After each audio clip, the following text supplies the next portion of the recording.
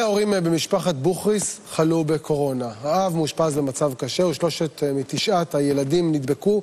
המצב נראה בלתי אפשרי עד שתמר, נערה בת 16, החליטה, למרות הסכנות, להיכנס לתוך הבית ולדאוג לששת הילדים שנשארו לבד. הכתבה של ישי פורת. מה אתה רוצה שיצא? איפה מתקרב? בתוך הבית הזה שביישוב תל ציון שבבנימין מתגוררים תשעה ילדים בלי אימא ובלי אבא. יופי, תסיימו. שניהם חולים בקורונה. הגננת היא מאוד מתרחקת מהחברות, היא ניקה. יש... אה, ובכלל, אשתי מאוד חוששת. בגן החדש הכל נראה מוזר.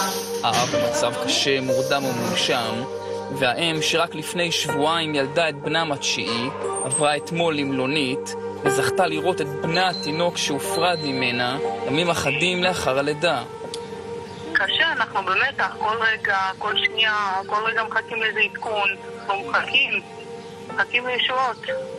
צריכים לשמוע קצת שהמצב יותר טוב, שהוא יתקדם, שהוא יתעורר, שאפשר לדבר איתו. שלושה ילדים, ובהם הבת הגדולה, בת ה-13, והתינוק שרק נולד, נדבקו בנגיף והוצאו גם הם מהבית. כעת נותרו שישה, ועכשיו מי יסכן את עצמו וייכנס לתוך הבית? תמר היינמן, נערה בת 16, תושבת תל ציון, התגייסה לעזור למרות הסיכון להידבק. בסופו של דבר ידעתי שאני אחלה. כאילו, חרדתי, כן, קצת. כאילו בכל זאת זה קורונה וזה, זה, כולם מדברים על זה והכל, אבל אני צעירה, ברוך השם מערכת חיסונית בריאה. החלטתי בסוף שגובר על זה פה לבוא לעזור והכל, זה גובר על הפחד. תמר, שלא הכירה את הילדים, היא בשבילם עכשיו גם אימא וגם אבא. קמים, מאכילים, מסדרים, מלבישים, משחקים, מעסיקים. מקלחות, לשכה, הכל, הכל. זה ילדות קטנות, אז ממש צריך להעסיק אותן, וזה קשה, כי אין את ההורה שכאילו סמכות הורית והכל. מנסים בכל זאת למלא את החסר, אבא ואימא שבבית חולים והכל. מה נשמע עוד הכל בסדר? אה, כן, בסדר. צריכה משהו להביא לי? כביסה, דברים? אפשר להסביר לי למחר. אנחנו אבא ואימא, אין ספק שזה חשש, וחשש גדול, אבל אה, בסדר, החיים הם לא פיקניק. זאת החלטה שלקחנו את זה באמת בכאב, אבל אנחנו יודעים שאנחנו עושים את הדבר הנכון. היא הייתה מוכנה להיכנס לבית ולעזור, העיקר לעזור למשפחה. קשה להם, קשה לי לחשוב שהם שמה. מקווה שיהיה בסדר, סליחה. בינתיים, מחוץ לבית, מגיעים אנשי מגן דוד אדום כדי לעשות בדיקות קורונה לשאר הילדים.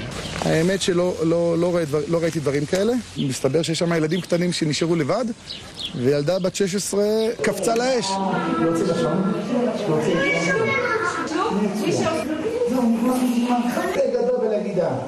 כשילדה, מבחינתי נערה בת 16, אומרת מרצונה החופשי, אני נכנסת, אני מבינה את המשמעויות, אני מבינה שאני צריך בידוד, כולל בליל- בליל הסדר, אבל אני עם המשפחה, זה מעשה מדהים. כמובן שהרווחה, האגף לשירותים חברתיים של המועצה עוטפים אותם. בעוד שלושה ימים ליל הסדר, תמר כבר יודעת שגם אותו היא תעשה רחוק ממשפחתה, ויחד עם הילדים שהוריהם חלו. ידעתי שאני אעשה ליל הסדר פה. אמרתי יותר יהיה עצוב שהם יעשו סדר בלי הורים, כאילו, מקווה שיהיה בסדר.